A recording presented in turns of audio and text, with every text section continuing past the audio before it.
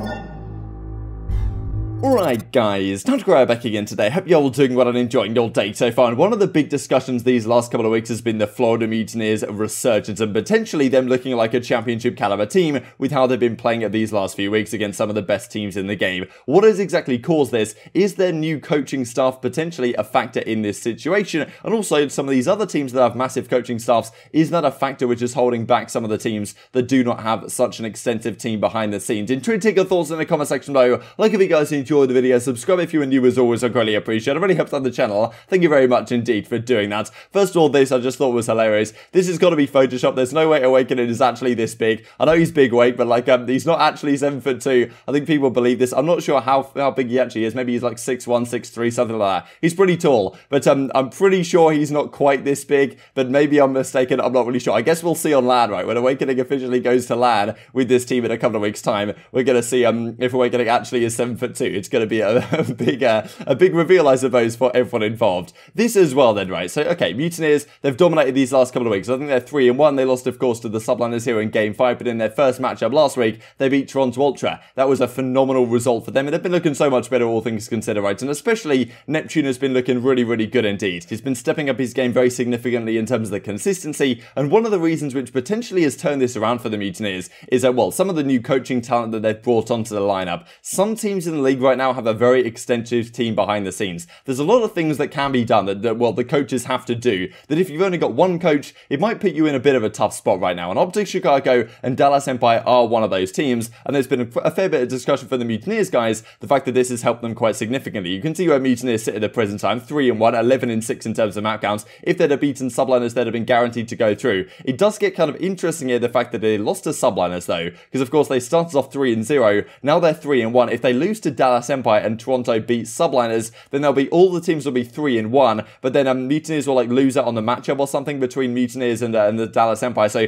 it all gets kind of strange in there. But um, it's still possible. I think the Mutineers end up coming fourth here if they do lose that match to Dallas. But if they play like they did up against the other teams, especially Ultra, then they should have a great chance of winning that series regardless. And this is an interesting part of things, right? Because Dallas Empire right now pretty much only have Rambo as their um, yeah, main head coach guy who's doing all the things. But then Florida Mutineers, they've decided to bring in someone new to the scene. And it probably has helped them quite significantly. The Skyz says right here, having two coaches is a glitch. Shout out Willett, guy has a huge brain and has helped us a lot, and of course the coach Ricky Atura. So Atura's been their coach for quite a while now, but Willett has been in the amateur scene for a fair bit as well. He's now coming into this team and is effectively helping out as like an assistant coach to some degree. And uh, well, Skyz says right here, you know, having two coaches is a glitch. This is a, a seriously massive improvement for them behind the scenes. And as Atura says as well, having an extra pair of eyes as of recent has really helped out the team a ton. Couldn't appreciate this guy Anymore. So they've improved dramatically recently, and of course, it's not necessarily just down to this changing in the coaching team, but bringing someone else on seems to have made some significant improvements at the very least for the Mutineers. Now, other teams haven't necessarily gone down this route. One team that has, though, is Atlanta FaZe. They have a monstrous team behind the scenes in terms of, um, you know, their, uh, well, their talent, I suppose, not just in terms of the roster. Of course, the roster is the thing that does the main bit of the work. There's no doubt about that. Arcitys, Cellium, Simp, and aBeZy, you can't really go far too wrong with those four players, but they have a, a massive coaching staff, right? And the fact of the matter is that FaZe, I think, right now are doing so many things right, and they're really ahead of the game in terms of, uh, well, some of these other top teams that haven't necessarily gone down this route as of yet. Not only do they have Tupac Thuglord, of course, as their search and destroy analyst, but, you know, no other team has a search and destroy analyst. They have, of course, an analyst in general, that being EasyMac, who does all the statistics type stuff, and then they've got two coaches, they've got Crowder, and then they've got RJ, so someone does, I guess, so they kind of split it between someone who's doing the more man-to-man type, um,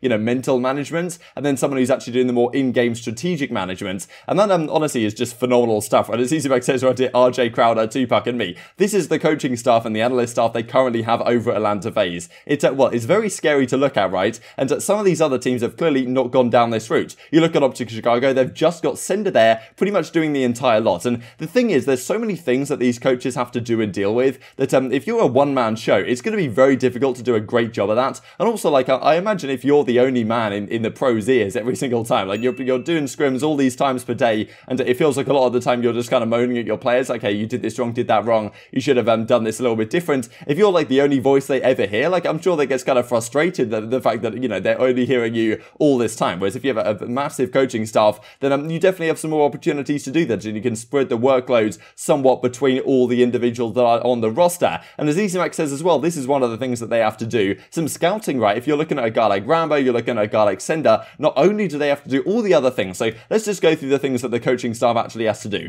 But we got to give some gas like, to the other side too. Yeah, Florida, Florida's on a Florida's a been crazy on, run of form you know, right now. It is difficult to play a team yeah. like uh, you know like this. I mean, Neptune's twenty and seven. It's great yeah. to see this kid showing consistency now. This his, been, his decision making has improved a lot. Oh, so much. He's manipulating he spawns. Yep. He's manipulating He's spawns. Go really ahead, good heads up, patient plays now. Shout out Willett. Shout out to yeah. our coaching we staff. Have, we haven't there. talked a lot about Will on this show. That, that I think that's ended up being a really good pick. Uh, you know, if you talk to like other teams that have one or two coaches on the team, they'll tell you having a second body to help with some of those harder conversations and manage personalities and and make sure that information is being processed correctly is like a huge ad. If Florida continues to do well, you guys should probably get him on the show. He's a really good kid and he's really smart. Yeah, I'm. I, I, know him from challengers from last year. So we've gotten some people from Florida on the show. I know Skyz just came on. Um, they have to obviously be in the scrims every single day. In the scrims, there's many different things that they have to do. They have to schedule the scrims first of all. Then they have to actually, you know, be there present in all the matches, looking at what the players are doing. If there's a consistent mistake, noting it down with the team, discussing it with the team to actually figure out how you can do that better next time around. Then if there's like some internal conflict within the squads, you've got to potentially deal with that. You've got to manage those issues. Then you've got to think about, all right, scouting for next season or for future seasons. Got to keep an eye on all this young up and coming talent. Then you've got all the statistics side of things, which is, of course, what EasyMac and some of these other analysts of the pro teams take care of for a lot of these pro teams. Okay, they deal with all the stats. They um, see what the KDs are looking like for the players, but also what hard points are particularly good. Are they really bad at the P2 to P3 rotation on certain hills, for example? Statistically, that might be something they need to work on. Are they good at some maps in practice, not good at other maps in practice? all this type of stuff. I guess if you've just got a one man show, you've got to be dealing with that stuff. And then if there are team internal conflicts or whatever, if some players are getting frustrated with other players, if there's some sort of issues like that, you've got to mediate it, you've got to get the, the players ready to go. And the fact that if you have a massive team that can actually spread some of that workload, I think that probably should be, be a massive improvement, right? And clearly Florida Mutineers have seen it, but some of these other teams haven't gone down that route. And it did really surprise me the fact that Chicago didn't decide to bring back Tupac. As last season, they had him on the Huntsman, right? Chicago Huntsman, they had a search and destroy analyst. Tupac was on their team, and uh, they didn't re-sign him. And FaZe decided, okay, we're just going to snap him right up. And since then, their search and destroy has been very much lights out indeed, and it certainly does make sense, right? So there's a few reasons why it's somewhat strange to me that Optic haven't decided to go down this route because there's some teams it certainly makes sense, right? You look at a team like Paris Legion, they don't really have any money. It makes sense they just want to go down the route of having one coach who's also their substitute who just does every single thing. But uh, if you're if you're trying to be a really top tier team, I think that what FaZe are doing right now is probably going to be the norm in a few years' time in Call of Duty, and I'd be surprised if teams don't follow suit relatively soon. We can see Sender right here after the match gets up, you know, fist bumps the team, and um, this is kind of the type of stuff. But he has to do a lot of things behind the scenes, I imagine, for this Optic team at the present time. It uh, can't be easy being in his shoes, especially because I mean, as soon as the series goes badly for Optic, he's the one who gets a lot of the blame. Right? It's tough to see really for Sender the fact that when he when the team does well, he never gets any credit, but when the team does poorly, he um well gets a lot of the blame. Right? And you know, obviously he's doing so much for this team already, and we can see some of the coaching staff that is in the league right now, and most of these teams have, well, at least, well, more than one player, I suppose, on the lineup. But some of the top tier squads, it did kind of surprise me looking at this, the fact that Dallas Empire and Optic, for example, aren't in that situation. And maybe that's because they don't feel like they need it, right? I'm pretty sure Heck said at one point in a podcast or something, maybe it was on like an Optic pre show, the fact that he'd asked the teams if they felt like they needed something else on the team. Do they need someone else, an, an additional member of the coaching staff? They decided no, right? They decided, okay, they're going to be fine with the direction they're currently taking.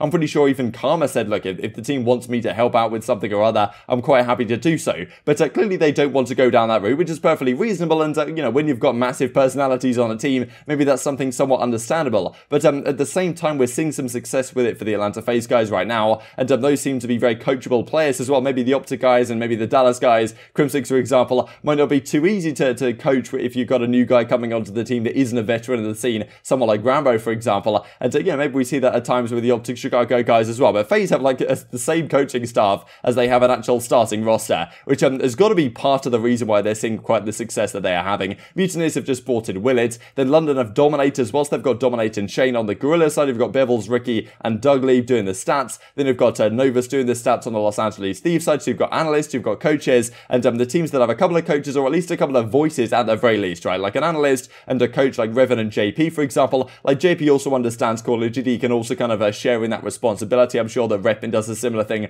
over at the Minnesota RØKKR. So most teams have decided to go down the route of at least one coach and then some sort of analyst as well. And of course, the notable exceptions being Optic Chicago and the Dallas Empire at the present time. So it's all rather interesting stuff. I do wonder what your thoughts are in the comment section below. Would this be a difference maker for Optic? Because uh, some of the pros are certainly implying it's been a difference maker for them. If they did go down this route, I'm not really sure who even you get to this point, right? Given that Tupac could have been a great option as like an additional player in terms of an analyst. At the same time, you've got Karma there on the bench. Maybe you move Sender into more of like a man management type role, and Karma can actually help with um, some of the more strategic stuff or search and destroy, for example. I'm not sure what route they potentially want to go down, but I think that some of the top tier teams are using this to great effect, and um, other ones maybe haven't quite caught up to the point right yet. A Couple of interesting things to finish off the video. This, first of all, from Saints, as he says right here, I guess my buyout that I had earlier in the year affected it not being in the league, but now that I'm free, I should be back in no time. So kind of confirming what we thought, the fact that um, he did have some sort of buyout, like a 25k buyout or something that uh, Paris didn't want to pay, they didn't want to pay the 25k or whatever it happened to be to get him off of the New York Subliners Academy. But now that team is now long no longer a thing, it's very possible that Saints gets somewhere or other back into this league at some point or another. But as actually says, right, with the whole situation at the optic side, as a wise man once said, it is never short. Who's the wise man? Major Maniac says Dashy. So still, like, optic is certainly in a fine position, but I did think it was an interesting discussion at the very least. And just to finish off with this pretty funny video here, this uh, well came out from this video